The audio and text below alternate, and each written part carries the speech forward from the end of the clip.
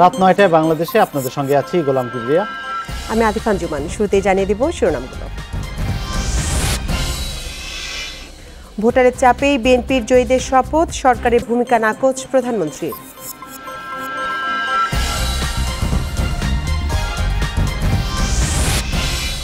শ্রীলঙ্কায় আইএস নির্মূলের ঘোষণা প্রেসিডেন্টের আবারও হামলার সতর্কতা জারি।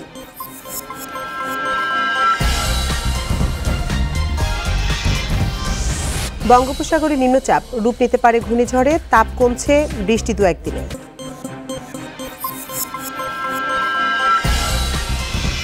শিরোনামগুলো শুনছিলেন এতক্ষণ। এবার বিস্তারিত।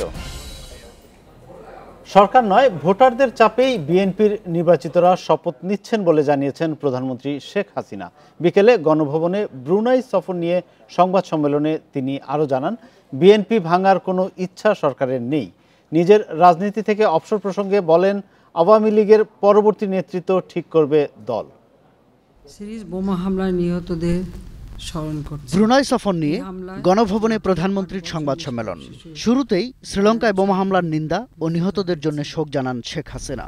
আমি নিহতদের আত্মার মাগফরাত ও শান্তি কামনা করছি এবং জঙ্গিবাদকে বৈশ্বিক সমস্যা দাবি করে তিনি বলেন এর কোনো ধর্ম নেই।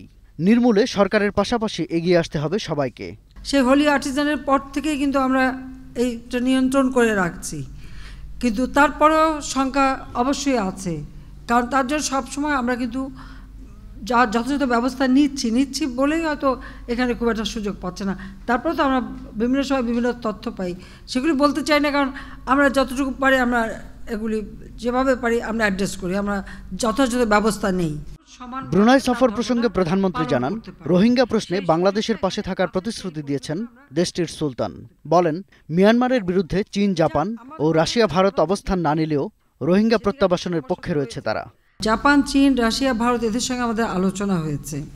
তারা হয়তো ঠিক ওদের বিরুদ্ধে অবস্থান নিচ্ছে না তবে আমাদের সঙ্গে যখন আলোচনা হয় তখন তারাও চায় যে রোহিঙ্গা এরা তাদের নিজ দেশে ফিরে যাক। এবং তাদের পক্ষ থেকে যতটুকু মানে মিয়ানমার সরকারকে বলা তারা তা বলছেন। এমনকি আপনারা জানেন যে চীন ভারত এমনকি জাপান এরা এই রোহিঙ্গারা ফেরত গেলে তাদের জন্য ঘরবাড়ি তৈরি করে দেওয়া থেকে শুরু করে সব ধরনের মানে ব্যবস্থা করতেও তারা রাজি। বিএনপির সংসদে যাওয়া না যাওয়া প্রশ্নে প্রধানমন্ত্রী বলেন তারা যা করবে তা তাদের রাজনৈতিক বা দলীয় সিদ্ধান্ত। অন্য কেউ সিদ্ধান্ত চাপিয়ে দিতে পারবে না দেবেও না। যে জনপ্রতিনিধিরা শপথ নিয়েছে এখানে সরকারের কিন্তু কোনো চাপ নেই। আমরা চাপ দিতে যাব কেন? তারা জনগণের ভোটে নির্বাচিত এবং তার নিজেই বলছে, তার নিজের কনস্টিটুয়েন্সিতেই তার চাপ। যে জনগণ ভোট দিয়ে নির্বাচিত করেছে, তারাই চাপ দিয়েছে, তারাই বলেছে এবং তারা শপথ নিয়েছে এবং যারা শপথ নিয়েছে, তারা বলছে যে তারা পার্লামেন্টে যে খালেদা জিয়ার মুক্তির ব্যাপারে কথা বলবে। রাজনীতি থেকে নিজের অবসর প্রসঙ্গে শেখ হাসিনা বলেন তারপরে কে দলের হাল ধরবেন তা ঠিক করবে আওয়ামী লীগ।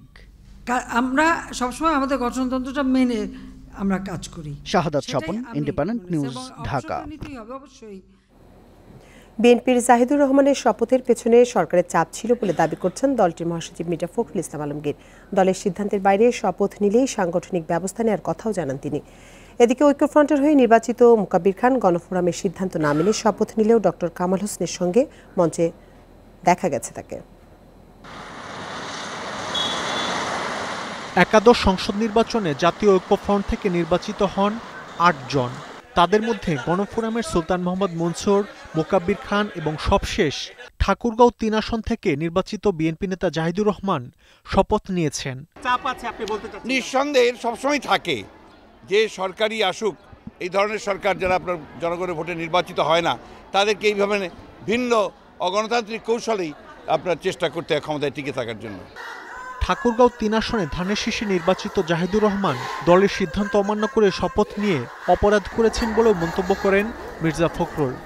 দলের সিদ্ধান্তকে ভঙ্গ করে এটা তিনি অত্যন্ত গহির্ত কাজ করেছেন অন্যায় করেছেন অপরাধ করেছেন এবং এই জন্যে তার বিরুদ্ধে সংগঠন ব্যবস্থা নেবে। এদিকে রাজধানীতে গণফোরামের বিশেষ কাউন্সিলে একই মঞ্চে ওঠেন ডক্টর কামাল হোসেন ও মুকাব্বির খান। যদিও গণফোরাম থেকে নির্বাচিত সুলতান মোহাম্মদ মনসুরকে এমপি হিসেবে শপথ নেওয়ার সঙ্গে সঙ্গে দল থেকে বহিষ্কার করা হয়। কিন্তু শপথের প্রায় এক মাস হলেও মোকাব্বির খানকে শুধু কারণ দর্শানোর নোটিশ দিয়েছে গণফোরাম। এমন দ্বৈত নীতির কারণে ক্ষুব্ধ প্রতিক্রিয়া জানান গণফোরামের বেশ কজন নেতা। দলের সিদ্ধান্তে যায় নাই কামাল হোসেনের ব্যক্তিগত সিদ্ধান্তে মোকাব্বির গিয়েছিল এবং যা কিছু করছে মোকাব্বির কামাল হোসেনের সিদ্ধান্ত গিয়েছে দ্বৈত যে আচরণ এটা আমি এটাতে আমি খুব ক্ষুব্ধ। এ ধরনের দল করব না। গণফোরামের কাউন্সিলের শপথ প্রসঙ্গে কোনো বক্তব্য রাখেননি ডক্টর কামাল হোসেন। স্বৈরতন্ত্রকে মেনে নেয়নি মেনে নেবে না। Mahmud Sharif independent news Dhaka. শ্রীলঙ্কায় আইএস দমনের ঘোষণা দিয়েছেন প্রেসিডেন্ট মাইত্রিপালা সিরিসেনা। পাশাপাশি হামলায় জড়িত সন্দেহে আটক সত্তর এবং আইএস সম্পৃক্ততা একশো ত্রিশ জনকে শনাক্তের দাবি তার।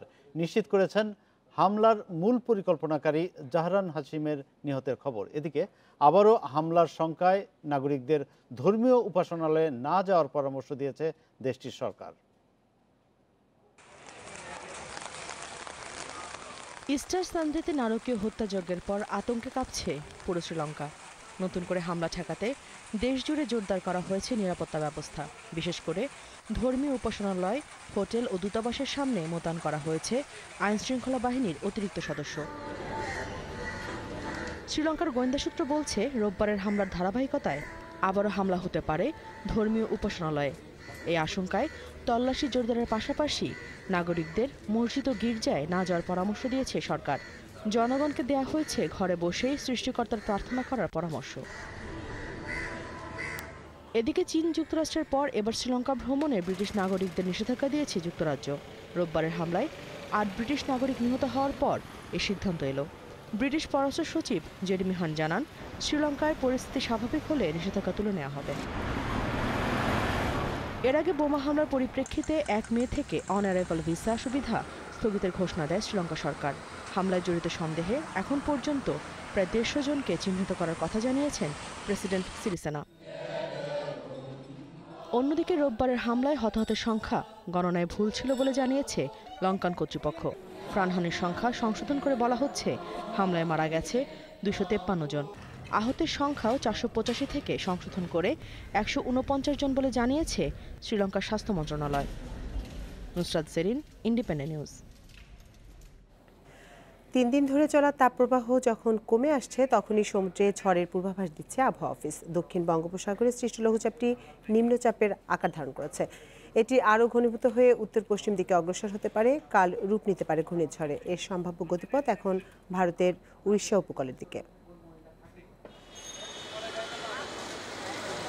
টানা দাবদাহে পড়ছে রাজধানী সহ দেশের প্রায় সব জায়গা। শুক্রবার রাঙামাটিতে দেশের সর্বোচ্চ তাপমাত্রা ছিল সাঁত্রিশ ডিগ্রি সেলসিয়াস ঢাকায় ছত্রিশ দশমিক দুই। তীব্র গরমে সবচেয়ে বেশি দুর্ভোগ খেটে খাওয়া মানুষের ঘর থেকেই বের হচ্ছেন না অনেকে। তাপমাত্রা আগের চেয়ে অনেকটাই বেশি। দুই তিন দিন হলো গরম অবস্থা খুবই মানে খুবই ভয়াবহ অবস্থা। ওয়েদার চেঞ্জ হচ্ছে যার জন্য হঠাৎ বৃষ্টি হচ্ছে আবার ইদানিং খুব অস্বাভাবিক গরম পড়ছে। গরম তো প্রচুর। রোডের তাপমাত্রা বেশি গাড়ির তাপ গরম মানে সবসময় মাথা ধরে গরমের মানে অস্থির অস্থির লাগে। আবহাওয়া অফিস বলছে শুক্রবার বিকেলের পর তাপমাত্রা কমতে শুরু করেছে। বঙ্গোপসাগরে তৈরি হয়েছে নিম্নচাপ সেটি ঘূর্ণিঝড়ে রূপ নিতে পারে। কোথাও কোথাও হতে পারে শিলাবৃষ্টি। আগামীকালের পর থেকে তাপমাত্রা কিছুটা মানে দিনের তাপমাত্রা কমে যাবে। রাজশাহী রংপুর দিনাজপুর আমাদের ঢাকা টাঙ্গাইল বগুড়া এইসব অঞ্চলে হ্যাঁ সিলেটের এইসব অঞ্চলে বিচ্ছিন্নভাবে আর কি হ্যাঁ শিলাবৃষ্টির সম্ভাবনাও রয়েছে। তবে মে মাসে তিন থেকে পাঁচটি তীব্র ও মৃদু তাপপ্রবাহ বয়ে যেতে পারে। এদিকে সম্ভাব্য ঘূর্ণিঝড়টির বাংলাদেশে আঘাত হানার সম্ভাবনা কম। এটি শ্রীলঙ্কা উপকূল হয়ে যেতে পারে ভারতের উড়িষ্যা উপকূলের দিকে। আগামী প্রায় তিন দিন ধরে সে ক্রমশ শ্রীলঙ্কা উপকূল অতিক্রম শ্রীলঙ্কার উপকূলে এসে সে একটু বেঁকে ভারতের তামিলনাড়ু হয়ে কোস্ট ঘেঁষে উড়িষ্যা উপকূলের দিকে আসার সম্ভাবনা রয়েছে। সাগর উত্তাল থাকায় মাছ ধরা নৌযানকে পরবর্তী নির্দেশ না দেওয়া পর্যন্ত গভীর সাগরে না যাওয়ার পরামর্শ দিয়েছে আবহাওয়া অধিদপ্তর। Kazi Shamim Hasan independent news Dhaka. Group champion হয়ে বঙ্গমাতা গোল্ড কাপের সেমিফাইনালে বাংলাদেশ। বি গ্রুপের শেষ ম্যাচে কিরগিস্তানকে দু এক গোলে হারিয়েছে তারা। কিক অফের উনত্রিশ সেকেন্ডে সঞ্জিদা আক্তারের গোলে এগিয়ে যায় বাংলাদেশ। বিরতিতে যাওয়ার আগে গোলের আরও বেশ কয়েকটি সুযোগ নষ্ট করেন বেঙ্গল টাইগাররা। গোলকিপারকে একা পেয়েও ব্যবধান করতে পারেনি মার্জিয়া স্বপ্নারা।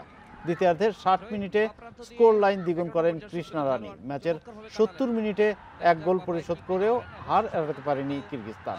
সেমিফাইনালে বাংলাদেশের প্রতিপক্ষ এখনও নিশ্চিত নয়। দিতে পারলেন না। দর্শকরা মারিয়া মান্ডা দেখা যাক এবার একটা ভালো আক্রমণ রচনা করতে পারেন কিনা। সামনে বাড়িয়েছেন খুব ভালো জায়গায় মার্জিয়া বল পেয়েছেন। দেখা যাক ডান পায়ে কিক নিতে পারেন। এখনও কাটিয়ে শেষ পর্যন্ত চমৎকার কিকটা নিলেন। অল্পের জন্য এত ভালো। এই ছিল রাত নয়টায় বাংলাদেশে। যাবার আগে শিরোনামগুলো জানাচ্ছি আরেকবার। ভোটারের চাপে বিএনপির জয়ীদের শপথ সরকারি ভূমিকা নাকচ প্রধানমন্ত্রীর।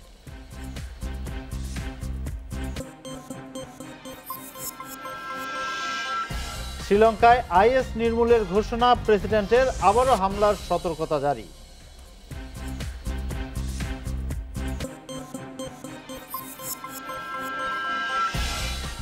বঙ্গোপসাগরে নিম্নচাপ রূপ নিতে পারে ঘূর্ণিঝড়ে তাপ কমছে বৃষ্টি দু একদিনে